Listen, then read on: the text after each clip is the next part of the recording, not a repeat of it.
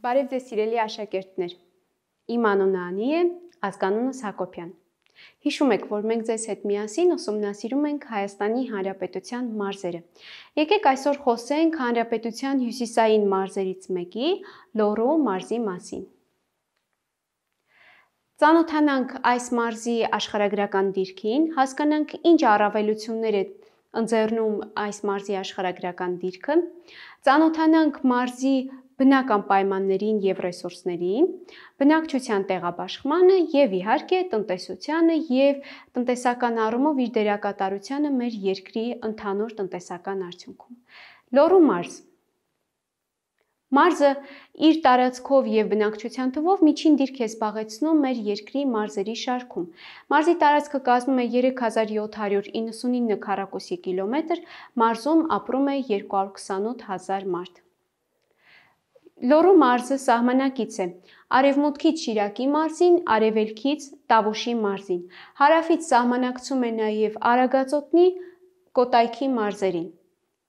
Լոռու մարզը ունի հյուսիսային դիրք, կարծես թե ծայրամասային դիրք, տպավորություն է ստեղծվում, որ այն շատ նման է իր աշխարհագրական դիրքով մեր նախորդ ուսումնասիրած մարզերից մեկի Սյունիքի աշխարհագրական դիրքին, բայց սա իհարկե առաջին հայացքից միայն։ Իրականում Լոռու մարզը առավել բարենպաստ աշխարհագրական դիրք ունեցող մարզերից մեկն է։ Հյուսիսային մասը նրա սահմանը հանդիսանում է նաև պետական սահման Հայաստանի եւ Վրաստանի համար։ Ընդ որում սահմանն անցնում է Վիրահայոց լեռներով։ Լոռու մարզը ունի ընդհանուր առմամբ բարենպաստ աշխարհագրական դիրք, որովհետև այս մարզով է մեր երկրի ընդհանուր կապը հաստատվում Սև ծովի նավահանգիստների հետ։ Մարզը միջին դիրք է զբաղեցնում իր բնակչության եւ տարածքի ցուցանիշներով։ Լոռու մարզը ձևավորվել է նախկին 5 վարչական շրջանների միավորումից։ Դրանք էին Գուգարքի շրջանը, Թումանյանի շրջանը, Սպիտակի շրջանը, Ստեփանավանի եւ Տաշիրի շրջանները։ Լոռու մարզը ընդհանուր առմամբ ունի լեռնային մակերևույթ։ Այստեղ արկա են եւ կտրտված գետահովիտները եւ հարթ դաշտերը, մասնավորապես Լոռու դաշտը, որը հնարավորություն է ստեղծում եւ բարենպաստ ազդեցություն է ունենում մարդու տնտեսական գործունեության վրա։ Լոռու մարզի հյուսիսային մասում ձգվում են Վիրահայոց լեռները, հարավային մասում տարածվում են Փամբակի լեռները, մարզի կենտրոնական մասով տարածվում են Բազումի լեռները, որտեղ է գտնվում Պուշկինի լեռնանցքը, որով անցնում է Վանաձոր Ստեփանավան ավտոխճուղին, 1828 թվականին այս լեռնանցքում հանդիպել է Ալեքսանդր Պուշկինը, հանդիպել է Պարսկաստանից դեպի Թիֆլիս գնացող խմբին, որը տեղափոխում էր Գրիբայեդովի մարմինը։ Այս իրադարձության հետ կապված կա հուշ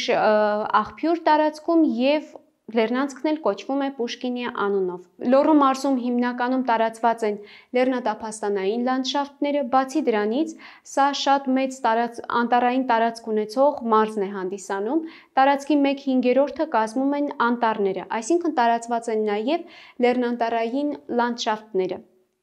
Լոռու մարզը ընդհանուր առմամբ ունի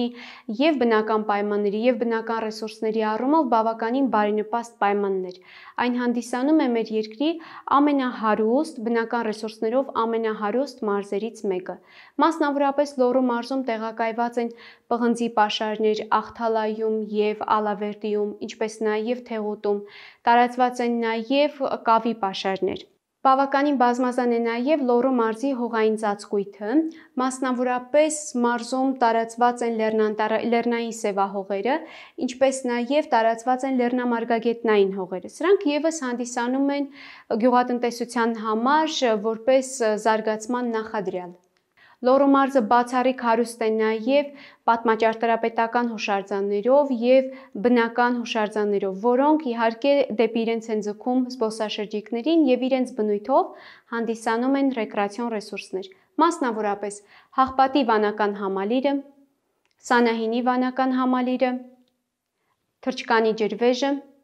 Լոռու մարզը բավականին մեծ դեր ունի մեր երկրի տնտեսության մեջ, մասնավորապես արդյունաբերության մեջ։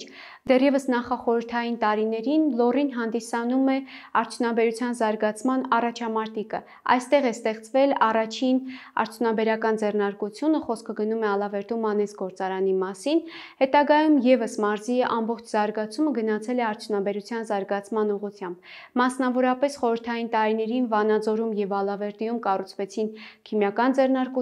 որոնք թեև մեծ բացական ազդեցություն ունեցան մարզի եւ մասնավորապես այդ քաղաքների օթային ավազանի եւ ընդհանրապես էկոլոգիական իրավիճակի վրա, բայց ամեն դեպքում նպաստեցին մարզի զարգացմանը, արդյունաբերական զարգացմանը։ Մարզը բավականին զարգացած գյուղատնտեսություն ունի եւ գյուղատնտեսությունն էլ պայմանավորված տարածքի մակերևույթի բազմազանությամբ, գյուղատնտեսությունն էլ բազմաճյուղ է եւ բազմազան է։ Մասնավորապես ցածրադիր վայրերում մշակում են ծխախոտ, մերձարևադարձային պտուղներ, ինչպես նաև փոքր չափով զբաղվում են նաև հացահատիկի մշակությամբ։ Մարզը բավականին մեծ դեր ունի նաև ծառայությունների մատուցման ծավալում, չնայած մարզը միջին դիրք է զբաղեցնում մեր երկրում ծառայ մեր երկրի ծառայությունների մատուցման ծավալում։ Նորանկախ Հայաստանում, ինչպես բոլոր մարզերում, այնպես էլ Լոռու մարզում տեղի ունեցավ մեծ թվով բնակչության արտագաղթ, բայց Լոռու մարզից արտագաղթը մեծ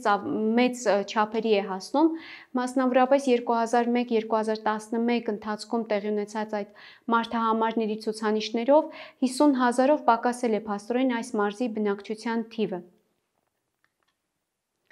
Ընդհանուր առմամբ մարզոնի զարգացման լուրջ հերանեկարներ, ինչպես հիշում եք նախապես ասացինք, մարզոնի խիստ բարենպաստ աշխարհագրական դիրք եւ կարելի ասել, որ այն իր աշխարհագրական դիրքին ձեռած հնարավորությունները դեռևս ամբողջությամբ չի օգտագործել։